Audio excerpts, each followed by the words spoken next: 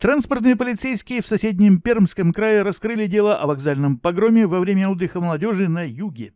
Железнодорожная станция «Юг» расположена в селе Бершеть, в 30 километрах от Перми, на ветке ведущей на Курган и далее на Екатеринбург, под Транссибу.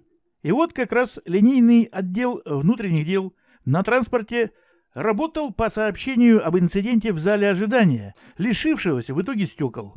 Оказалось, это специфическая побочка того, как тусуется местная молодежь.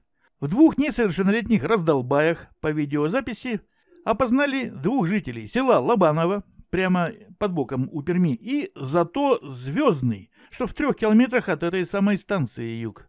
Там раньше была 52-я ракетная дивизия, где в шахтах 40 лет на готове стояло около сотни межконтинентальных баллистических ракет, нацеленных на Америку.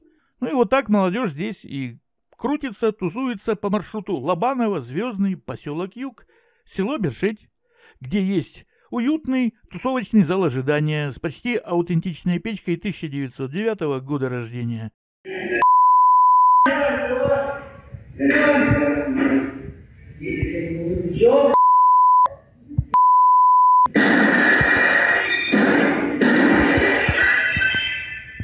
И где тусятся, там и курят, и бухают, и гадят, и ломают окна.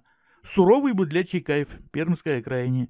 Надеемся, со всех героев и их родителей железная дорога и транспортная полиция в показательном порядке слупит за ущерб по полной программе.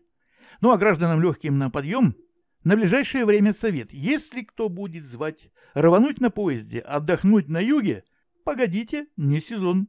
Вот когда вставят стекла в окнах зала ожидания вокзала станции Юг Свердловской железной дороги, тогда езжайте.